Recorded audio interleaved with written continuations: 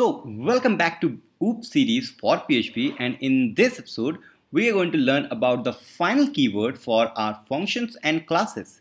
So let's see how this will work. So we have seen that in the last episode we have this book class which is having this function called author.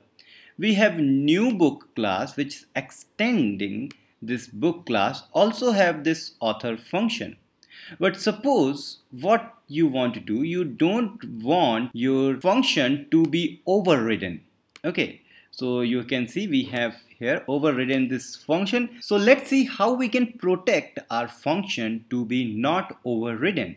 So we just have to do one thing. We will say final. And as you can see, I have right here final and let's go to Chrome, reload you can see it says cannot overwrite final method book author.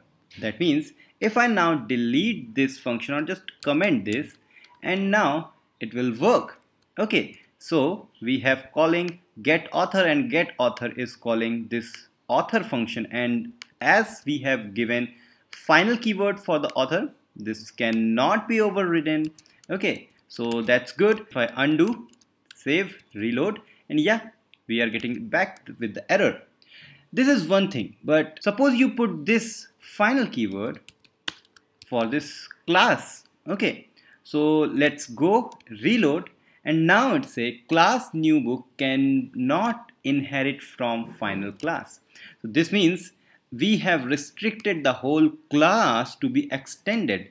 Now we cannot even access this get author function. So even if I comment this, we will still get error because we cannot extend this class. So just delete this and yeah now we will get the new error because we don't have any get author method inside this new book class. Okay. So this is called the final keyword which is very useful when you want to restrict your team member or even yourself to not to override any other function okay so if you have doubt please feel free to message me comment me and we will meet in the next episode. Till then don't forget to subscribe like bitfumes on facebook twitter and instagram.